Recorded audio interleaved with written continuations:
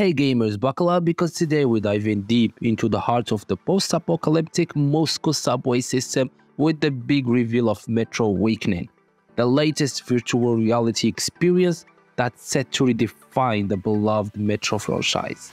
Grab your VR headsets because wherever you team PlayStation VR 2, Steam VR, or Meta Quest, this news is about to shake the very foundation of your gaming world. Let's kick things off by talking about the rules.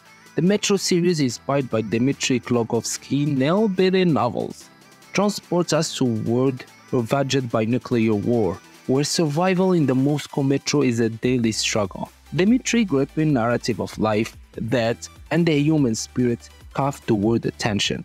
And for A Games video game adaptation brought this dystopian world to our console and PC making fans out of gamers worldwide. And now, nearly five years after Metro Exodus left us waiting more, the developers have pulled back the current on Metro Awakening. During Sony's recent State of Play, the trailer for Metro Awakening dropped, and it's nothing short of spectacular.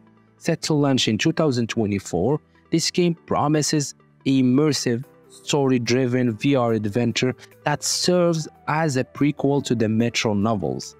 Think about that, with getting a chance to experience the events that led to the world of the Metro series. Vertigo Games, the brain behind Arizona Sunshine 2, is steering the ship and if their track record with VR is anything to go by, we're in for a treat. The game promises to enhance the stealth and survival mechanics we come to love from the Metro series, thanks to the latest VR technology. And here is a juicy news. Dimitri himself has been involved in this development, serving as a story and lore consultant. Despite facing legal challenges back in Russia, Dimitri's commitment to his creation remained unshaken ensuring that Metro Awakening stays true to the heart and soul of the franchise. Now, let's address the elephant in the room. Is Metro Awakening going to be the next big thing in VR gaming, or is it a gamble for the franchise?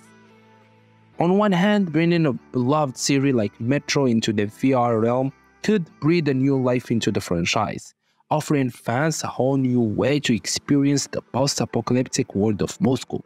The promise of enhanced survival and stealth mechanics, coupled with the immersive nature of VR, could set a new standard for narrative-driven VR games. On the other hand, VR gaming is still finding its footing among the mainstream gaming audience. The success of Metro Awakening hangs on its ability to draw in not just exciting fans of the series but also VR enthusiasts and the newcomers to the franchise. It's a bold move, but given the pedigree of Vertigo Games and the involvement of Dimitri, it's a move that could very well pay off in spade. But what do you think? Is Metro Awakening the fresh start the Metro series needs, or it's a risky venture into uncharted territories? Drop your thoughts in the comments below.